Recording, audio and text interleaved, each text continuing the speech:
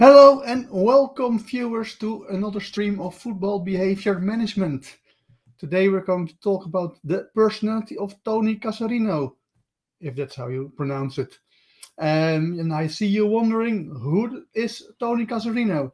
Well, he is a semi-famous uh, football player. Um, he played for Chelsea. He played for the national uh, Irish team. Uh, somehow Tony Cascarino turned out to be an Irish guy. Um, so that's all uh, well, nice and well. But the reason why I chose Tony Cascarino is because I think that he has a Type Six loyalist brain. And that is a uh, very rare combination of having a Type 6 loyalist brain uh, with a professional football player because uh, the evolutionary behavioral patterns of the type 6 loyalists uh, are quite incompatible or at least uh, uh make uh, playing football quite difficult. Um, so uh, if you have any questions, if you have questions about the previous, um, I say the previous profiling that we did, we started with type 1 Pep Guardiola, then we did type 2 Ronaldo, type 3 Ruud Gullit, type 4 Romario, type 5 uh, Marco van Basten, and now type 6 Tony Cascarino. If you have any questions, uh, please put them in the chat. Uh, if not, then we're going to start. So if you're watching this for the first time, there is a general introduction on the site. Let me just quickly go there and put in the link. Uh, so that if you look at the general introduction, if you missed most of it, uh, then you can understand why we do not believe that there is such a thing as personality. Instead, there are the evolutionary behavioral patterns as described by cybernetic big five theory. That is how we look at it. And if you follow the link in the chat, then you can actually uh, follow along.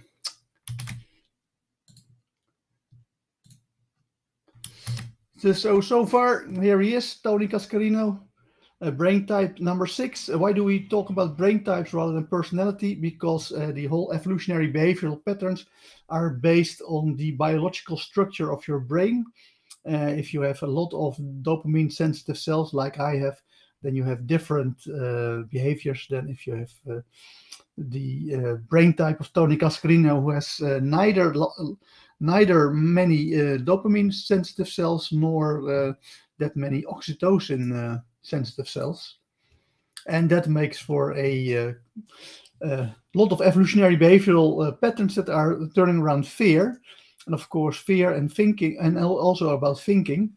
And fear and thinking are, of course, quite uh, uh, yeah, unhandy uh, for playing football. And that is, of course, why we find so only so few uh, uh, football players with a type 6 loyalist brain. Um, how do I figure that he has a type 6 loyalist brain? Well, let's, let's go into it and see in his autobiography, he is summing it up perfectly, according to The Guardian. For as long as I can remember, there has been a little voice in my head that highlights my weaknesses and undermines my confidence. And so this is typical what the, the people with a type 6 brain do, is that they are constantly thinking and thinking and thinking and making these uh, uh, uh, disaster movies inside their head and uh, seeing all the dangers, all the failures, and everything can go wrong. They're quite pessimistic.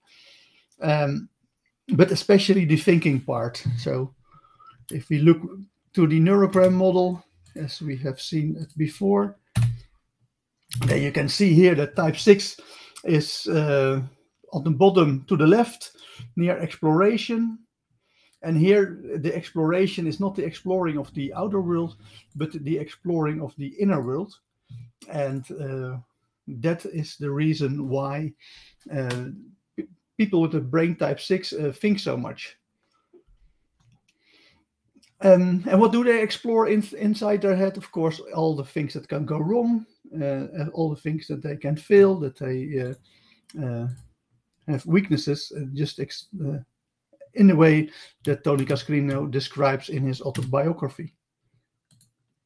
And so he continues, uh, I think, too much during the games. So that is a big issue, of course. And again, it is completely um, uh, understandable given that he is scoring so high on exploration. Um, but of course, thinking during matches is uh, quite unhandy. We've already seen that uh, uh, the, the, whole exploration part can be used uh, as good if you have game intelligence and you can scan the game and then you can use uh, uh, that to predict where or you can pick up on patterns and then predict where the opponent will be, where there will be opportunities to attack, where the opponent will attack. So it's not all bad exploration. But if it's this this inner voice, that's the that's what we call inner self talk uh, eh, during the match. That is uh, very unhandy, and you can see that in order to reach reach a peak performance, players should stay away from it, and. Th that is, for instance, the reason why we saw that with type 3 successful workers, we want the, them stressed on the pitch. We have gone in the episode on the type 3 successful worker, we've gone through the uh, report that I made for a real superstar talent uh, from Denmark. Um, and you we, and uh, you can see that I uh, met uh, that I regular said, okay, don't relax too much because as soon as they start to relax, they start to overthink. Why? Because they move from the three to the six. So actually, when you look at the whole model in, in combination with football, the loyalist position is the uh, exactly the position where uh, we want to make sure that people stay away from.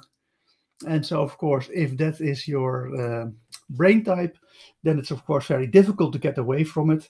And that's the reason why Tony Cascarino is describing uh, this evolutionary behavioral pattern of constantly thinking during the match which is of course a bad thing and they uh, should not think uh, during the match but they should be uh, completely in flow going with the match and acting unconsciously which is very difficult for the type 6 loyalist. And so he continues most players analyze performances after a game. Not me. I do it all the wrong way. I think about how i'm playing as i play and this is what again this inner self talk where they just are going continue to discuss um, how the match is going with himself during the match, which is of course is uh, very bad but very understandable for a someone with a type six brain. Um, three bad passes, and I'm looking at the touchline.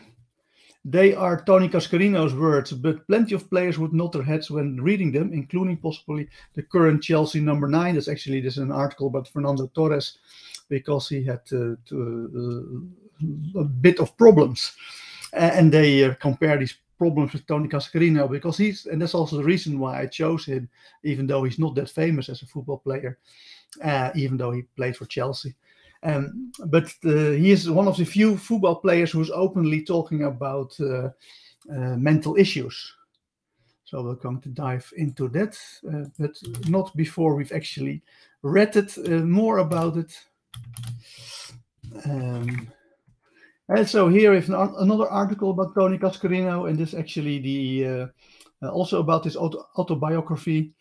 Um, uh, the book goes written by Irish journalist and Tony's personal friend Paul Kimmage is different from many football books. It shows that being a professional player is not always synonymous with living like a star. At the beginning of his autobiography, Tony describes himself stuck in the fog. And this is how uh, many people who are depressed, of course, describe depression as being stuck in a fog their brain simply doesn't work anymore. And what happens is that the limbic system uh, is trying to take over the system. The neocortex is also fighting for control, and the uh, limbic system is sending out, uh, uh I said, distress signals that uh, uh, hinder the functioning of the neocortex, and that's why people have the idea of, oh, I'm, my head is stuck in this fog. It is 2000. Tony has been a professional footballer since 1982, but he does not enjoy playing football anymore. He lives with his French second wife, Virginie, and their five year old daughter, Meva, in Nancy. Of Nancy, I should say, as it's French, of course. As he drives his daughter to school before training, he calculates the monetary gains he made as a footballer. And subtract all the expenses that he has and that he will have in the face of the future, uh, have to face in the future. Um, and this is uh, typical for players uh, of people, yeah, people, but also players with a type 6 brain, the loyalists, uh, when they are stressed. Uh, if they are stressed, they move towards uh, type 3. Uh, we have seen that the whole neurogram model is a very um, dynamic model. our brains are capable of stressing, of relaxing, and neither stress nor relaxing and in times of stress uh, our brain produces completely different kind of uh, evolutionary behaviors than in uh, times of relaxation in times of relaxation uh, the best of our uh, or the most positive versions of our evolutionary behavior uh, come out but in times of stress that are the most negative ones of course, when playing football, we've seen for type 3 successful workers, they perform better when stressed but uh, for type 6 loyalists, uh, that might also be the case that they perform better if stressed, if stressed. But besides uh, being stressed, uh, uh, sorry, besides being playing better football, of course, the stress has all kinds of negative uh, things that come along with the stress. And in, in the case of type 6 loyalists, that means that they move from the 6 you can see the small six on the bottom left corner, and it moves to the three to the bottom right corner. And that means actually that uh, people move from exploration, this is from this inner self-talk, uh, from exploring the inner world, and they move to exploitation. They move from uh, being between open for reasoning, which is of course also very much about thinking and being detached, uh, where they have this dissociation from the real world and constantly think about the world rather than uh, live in the world. But then they move towards um, scoring high and open for experiences and uh, uh, scoring high on extraversion and especially extraversion as uh, only indirectly to do with introverted or extroverted uh, behavior but it is mainly about the sensitivity for material rewards or actually being highly sensitive to material rewards so not in, in the neutral state, the players, but also people with the type 6 loyalist brain are quite uh, neutral um, or actually detached from um, concerns about uh, material rewards. But when stressed, or if stressed, I should say, they become highly worried about uh, money. And that is exactly what we here see here in this, uh, uh, oh, in this one. In this description of his autobiography, uh, that he is uh, he is busy worrying about money, what is very typical for um, uh, stressed people with a type 6 loyalist brain. He knows very well that in a short while he ha will have to retire. He is scared about his future, angst, depression, a constant sense of inadequacy. These feeling feelings were constantly present for Tony on the pitch and in his personal life. And so here we see again that not only that uh, this uh, thinking, uh, as, uh, the evolutionary behavioral uh, patterns of thinking, but also worrying, depression, uh, angst, all those feelings are so typical for people with a type 6 loyalist brain. And um, and of course, and this is what uh, I wanted to discuss mostly. This also happens for football players. In fact, the research has shown that about one in three players battles with fears, anxiety, anger issues, or depression, uh, which is quite high. But it's also quite a tough life uh, uh that of the professional football player. There is very little uh, room for mental issues, of course, uh, in in the club. Uh, footballers do not like to uh, have to go to a psychologist. Uh, sometimes they like to use neurolinguistic programming. So Brendan Rodgers of Leicester is well known to be able to use neurolinguistic programming as a manager to uh, get his players uh, to uh, play better than they used to. Uh, but in general, there's very little attention for mental issues during football. And of course, uh, Tony Cascarino is one of the few that is very open about it. And it's also because he's open about it why I was able of capable of uh, profiling him as a type 6 loyalist. But you can see this combination of inner self-talk, uh, fear, anxiety, depression, and uh, worries about money are all typical for uh, uh, the type 6 loyalist. Uh, Patoon, hi Patoon, nice to see you. Didn't notice that you were here already. Uh, type 6 look quite difficult for, the self, uh, for themselves. Yes, they are. Uh, indeed, you can um, char characterize all uh, types, all, all of the brain types, uh, and is, is he easy or difficult for himself or herself, uh, or is they are they easy or difficult for others? And in the case of the type 6 loyalist, you're absolutely right he is even though he is easy for other people because he's very very considerate uh, is a semi problem solver in the sense that he uh, most of the time prefers to have problems solved rather than to fight and even if he has to fight he often hires other to fight for him uh, so he's quite easy for other people, but indeed quite difficult for themselves because they have this just negative outlook on life. They're so much um, busy with all concrete dangers, with risks, um, I can see everything going wrong quite easily, and uh, the, and they actually feel it also.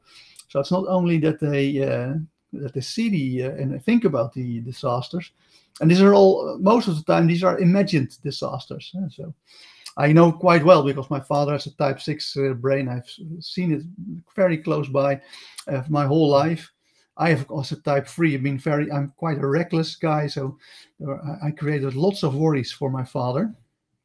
Uh, but indeed, he is uh, uh my father, but uh, type six loyalist in general, uh, make life for themselves quite difficult. And of course, my father has recognized this at the end of his life. Oh, he's still alive. We hope that he will live many more years.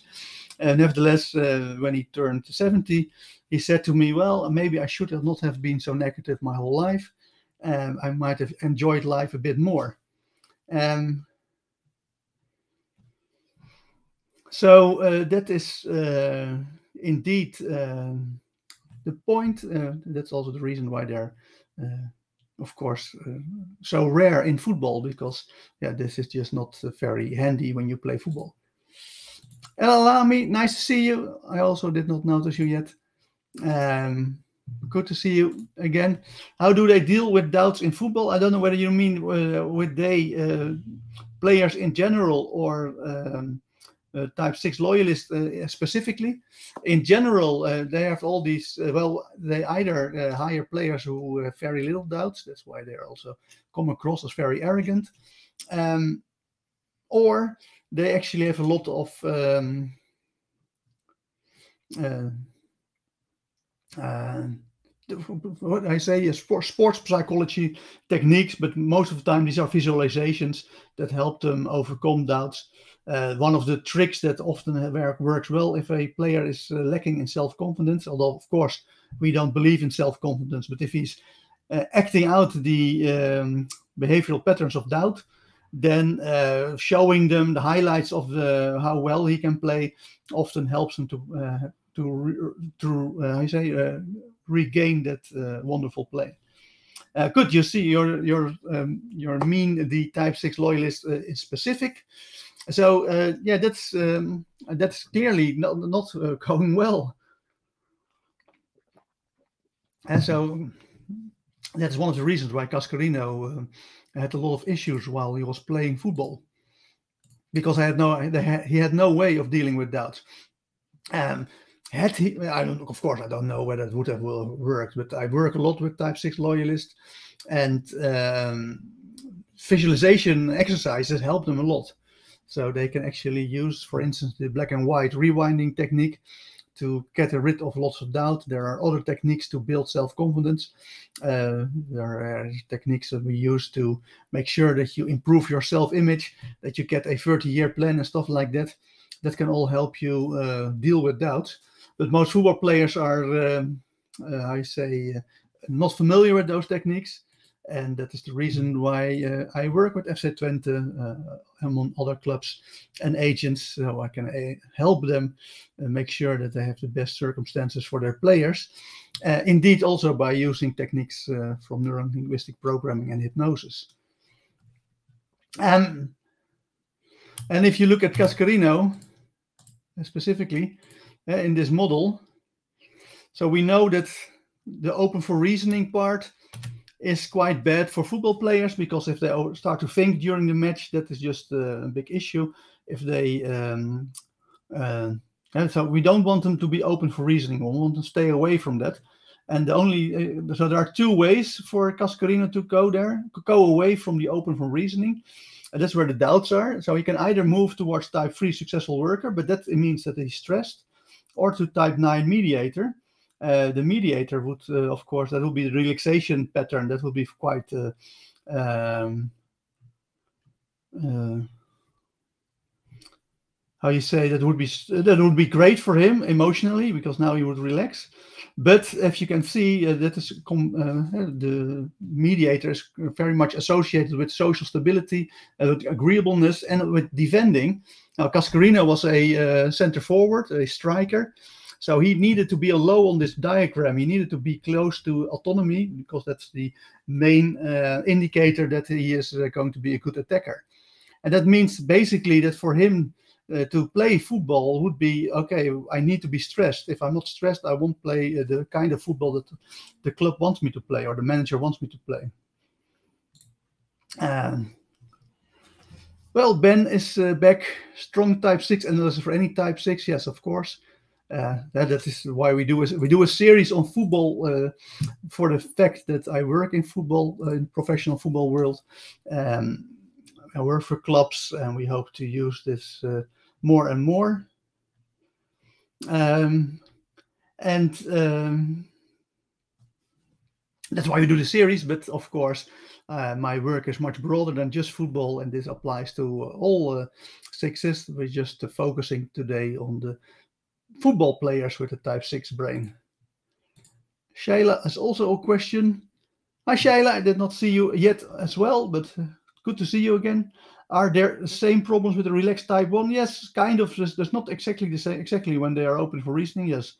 So you don't want to have uh, uh, type 1 uh, perfectionists uh, be uh, too relaxed. You want them uh, either, yes, either stressed if they're an attacker or they're in a neutral state if they're a defender. For ex- not, not, not exactly the same, but almost very similar issues because for the simple reason that yeah if you, you do not want to go and think during the match that is basically what you don't want to happen a type 6 watching this who doesn't play football what might be their biggest type 6 non-football takeaway please? Uh, well uh, relax but it goes for every type. Uh, you can better relax than uh, than stress. Um, so con let's continue because there's lots more to learn about the life of Tony Cascarino, of lots more, a bit of more. And then we can skip because now they're going to discuss his all uh, his career. We'll believe that he has a great uh, career.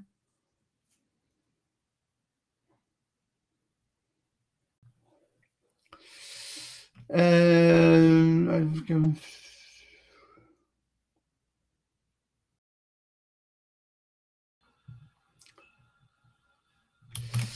Let's start here to continue. With a career consisting of few, glories and many more unsatisfying experience on the pitch. As a, again, uh, that's the reason why type 6 are so rare in football. It's just not the best brain type to have if you want to be a pro football player. And there's also one way that we use the uh, neurogram model. Uh, we're helping uh, very young kids. We can figure this out at the age of eight. Uh, in reality, we'll, we'll do it from the age of 13 or higher. And so we, I actually coach uh, young kids who uh, or young boys who uh, are thinking about or who have who have a chance, but the chance is extremely small, of course. But they do have a shot at being a pro football player and uh, of course knowing uh, your brain type at a very early age uh, helps you figure out whether football is something for you or not. So I, I have not, I, I so far I have not yet worked with a uh, type six uh, talent, um, of talent with a brain type six. So, but if I do, I can, I say, explain that it is pretty much quite a, a, tough thing for him to do as a type six. And that's sure, it's possible, but it will be much harder than on average. And so he has a career with consisting of few glories and many more unsatisfying experiences on the pitch, with a diff- difficult personal life ruined by his unfaithfulness to his wives. And again, this is of course uh, typical evolutionary behavioral patterns of the uh, type 3 successful worker who is using deceit uh, in many different ways. I have to admit, I'm absolutely completely faithful in my current relationship I'll probably go straight to heaven if I uh, die. Nevertheless, in my previous relationship, uh, I uh, was quite unfaithful. I cheated a lot, and and again, the stressed Type Six loyalist is going to behave that way as well. Uh, ruined by his unfaithfulness to his wife and his devotion to poker, perhaps it's not surprising that Cascarino tried to tie himself to Ireland. He wanted to be proud of something uh, devotion to poker, we'll see. This is the, the, the what happens is that. Uh, well, let's go back to the uh, neurogram model. And so the uh, in a normal situation, type 6, uh, being very risk averse, is of course uh, not into gambling at all. They don't like to gamble, they think it's uh, too risky. Um, nevertheless, they're quite good and deep thinkers, so, so they, their ability to be to analyze, and they're quite patient. Eh? So the whole exploration, uh, uh, all the types on this on, on, the exploration part, they have the patience to play poker. because if I play poker, I'd go just mm, a six and a seven. Mm, maybe I can fool them. Maybe I can bluff them. Here, my money. And of course, that fails uh, almost all the time because my brain is just too reckless to play poker. So to play poker, you have to be really um, patient, and that is much better for the exploration, uh, the type scoring uh, on exploration. Uh, there is a uh, question Would you discourage a type 6 to be a professional football player, or would you encourage, encourage them to proceed but learn NLP techniques? Well, this is a, uh, uh, this, this is the whole problem. That's why I work with young kids uh, or young boys who are very talented, uh, but uh, are not yet have not yet made it. And so, if you look at the situation in the Netherlands, that's what I know best. They're in the category between 13 and 18 year old, and so still the under 18s. Uh, there are 20,000 boys who uh, have a chance um, of uh, making it as a pro player and who are, I say, in line of uh, being selected for one of the pro teams. Um, but of those 20,000, only 200 uh, will make it. So you literally have a chance from one in 100. But the problem is, of course, that by the age of 13, uh, then of the of those 200, most of them already play for a pro club. Um, and if you're so if you're still playing at the amateurs at the age of 13, 14, then uh, the chance of you making it drops even further to maybe one in 1000. Um, so here's the situation. I'm actually uh, literally coaching a kid uh, right now. Um, uh, he's 13. He is uh, still playing with the amateurs. So he, at best, he has a one in 1000 sh- shot. What are we going to do? Are we going to say to the kids, well, the chance is just too small, forget about it, uh, you're just too much stressed over it, you can better relax? and take away his big dream, or uh, say, well, okay, even though he, even though the chance is extremely small, we're going to give you all the techniques that are necessary to uh, make it big time. Um, and let and and yeah, what are what are you going to do? And in fact, of course, uh, as a NLP coach or an NLP trainer, I don't decide that. I, uh, that's not my decision. So my my work is finding out what he really wants and then help him get what he really wants. But the problem is that he he is still uh, undecided. So he says uh, he says, "Oh, I understand the chance is really really small, and so uh, the best for me would be to." Uh, uh, um, would be to admit that uh, this is not going to work and just play for fun and relax and uh, and uh, go and do other things in my life. So that's what he says. At the same time, he also says, but then he says, yeah, but but I do really want to fight for. I said, okay, so we uh, we're going to use, yeah, we're going to discourage you in if, if I would uh, answer it in your question, of the way your question puts it. Um, but then he says, yeah, but I still want to fight for it because I do think that even if there's a super low chance, that I still want to go for the chance and not have regrets. And so the, the kid uh, himself is not is, is neither he, ha- he hasn't made up his mind yet. He doesn't know yet what he wants. So we can help him with NLP techniques also to uh, become more clear on what he really wants. Uh, but it is yeah, it's a very difficult thing. Uh, are you going to uh, I say disappoint him now at the age of 13 by taking away his big dream? Or are you going to uh, help him go along and then he will be very disappointed at the age of 14 or 15 once it still it's still at one point he finds out that he's not going to make it. So of course that um, that is very difficult. And there's no good answer by the way. So it's not like uh, it's not like I say this is what you do. It is uh, completely uh, up to whatever happens next. Uh, if an agent is wooing a type 6 to a new team, how?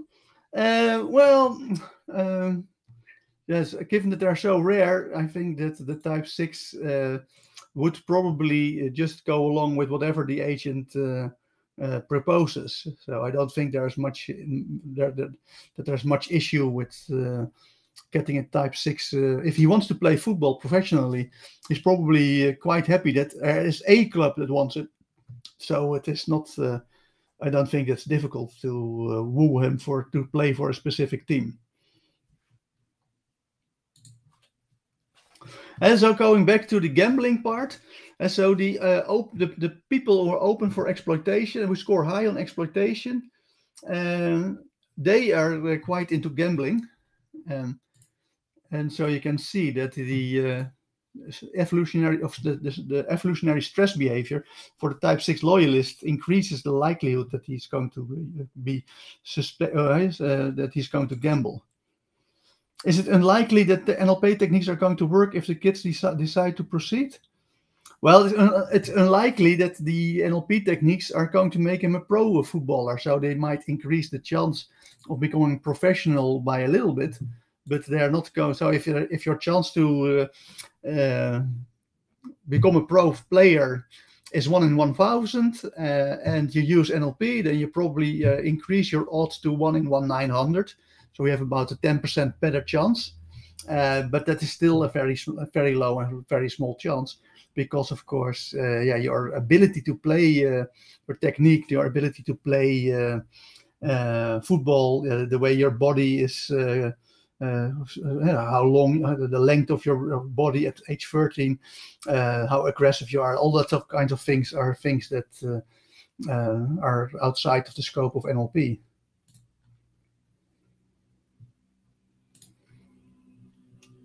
It's more unlike than for the other types. Um, well, I think yes. if you have, if you have Type Six uh, loyalist brain, making it as a pro player is simply uh, yeah the, the chance is even smaller than it also than it already is, and you have to work a lot harder, and you're going to suffer a lot more than uh, other types. Of course, not all other types you might have find we might find other types who also suffer, but uh, Type Six will suffer quite a lot. And so you can see that the gambling part is typical uh, stress behavior. And of course, Tony Cascarino being stressed, uh, he is going to uh, play poker. Um,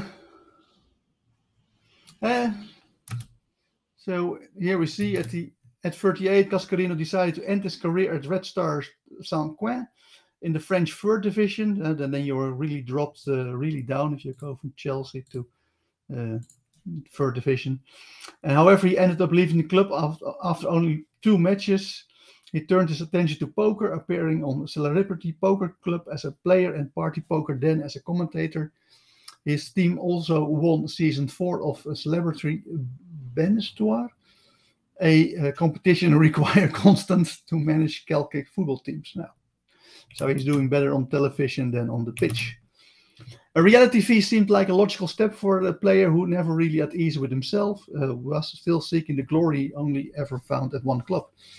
After his success at Millwall, he could never impose himself in England and found it easier to move to France, where the pressure was less intense He almost certainly knew he would never play for Italy or England, so he gave his alliance, alliance to Ireland and later only desired the acceptance of adopted country. Okay, that's, uh, that's more about his things. And so, but I wanted to mention that actually um, in my work with uh, famous Dutch uh, television stars, uh, so for, for the Dutch among you, uh, Ali Bey, uh, Terror I've uh, coached them, um, put them on the path of neurolinguistic programming, uh, calculated their brain types, and they both have a type 6 loyalist brain. So actually you can see that the stressed type 6 loyalist is very eager to work with TV and reality TV. So I find that uh, also another interesting uh, pattern. Which other jobs then uh, a football player is type six unlikely to success uh, to succeed with? Well, I think anything in the military, uh, the police, uh, fire, I say fire brigade, anything that puts you in harm's way is yeah is not very particularly liked by type six loyalists. And of course, football is war, uh, as our Dutch manager Michels Rinus would say. Uh, so uh, if you're going to football or play football, you're going to put yourself in harm's way, and that is one of the major reasons why uh, uh, players with a Type Six loyalist are so rare.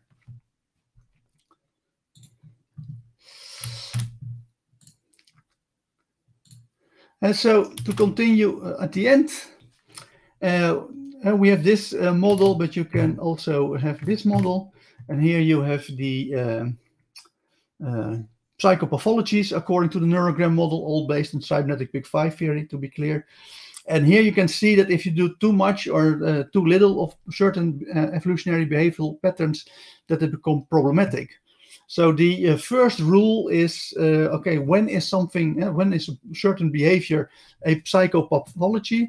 And the answer is very nicely formulated by cybernetic big five theory, because it's basically if you're structurally incapable of uh, achieving your goals, then you suffer from uh, psychopathologies.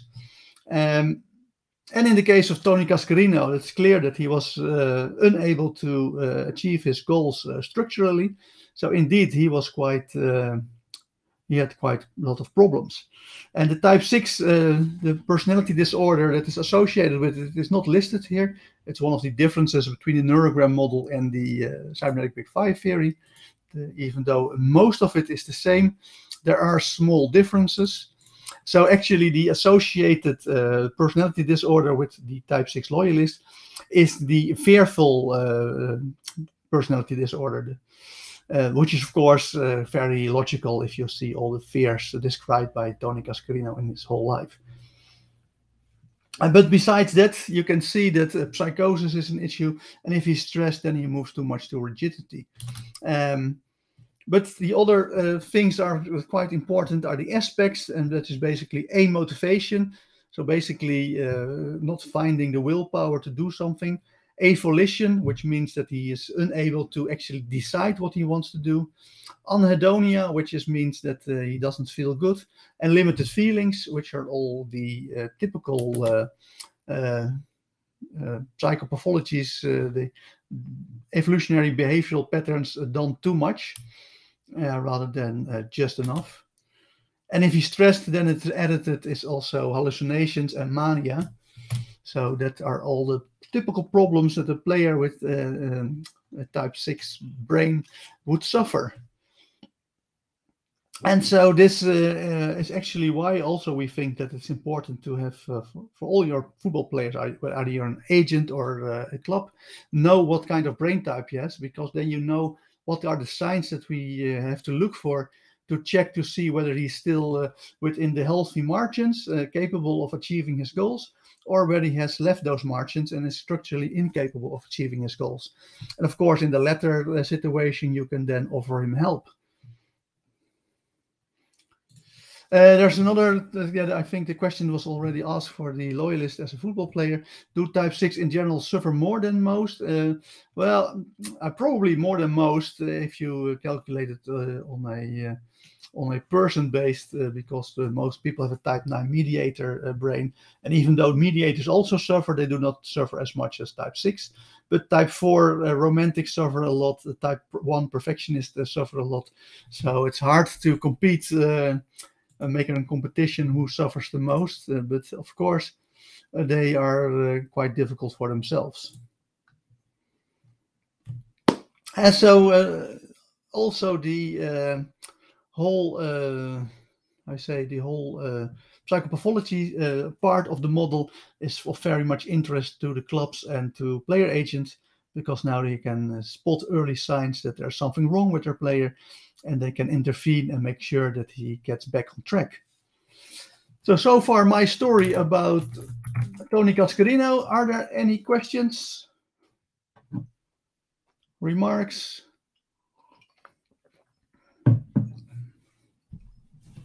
Or was it all clear and understandable?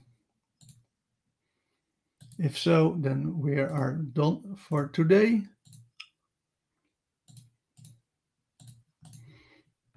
if you are not following me yet, please do follow me. The more people follow me, the more uh, I get motivated to create streams like this. Eloquently done. Thank you. Well, you're welcome, Ben. Um, and so, also, if you know people who are in, are interested in these kind of things, uh, please point them to uh, the stream. Uh, Shayla says thanks. Well, you're welcome as well uh, because uh, we do want to get a big an audience as possible, and it also makes me more inclined to create streams like this. So, in fact, I'm I am inclined to do the next episode tomorrow. Uh, tomorrow at 7 p.m. Central European Standard Time. Then we will discuss a really famous football player, maybe one of the most famous, Maradona. Uh, he has a type 7 a hedonist Epicurean brain of course, it, uh, is, uh, he uh, recently, of recently, I think last year, he died, and he has a, an example of how not to do the type 6 loyal of the type 7 uh, hedonist evolutionary behavioral patterns. Nevertheless, it is quite obvious that he has a type 7 brain. Uh, Siemens says, thanks for the stream. Well, again, you're also welcome. If there are no more questions, then I thank you for watching and hopefully we'll see each other tomorrow for the stream on Maradona. That should be a good one. That might be uh, so uh, much fun, of course, because hedonists and Epicureans are always fun. No more remarks. Thank you, thank you, thank you. Bye, bye, bye. We're done for today. See you tomorrow.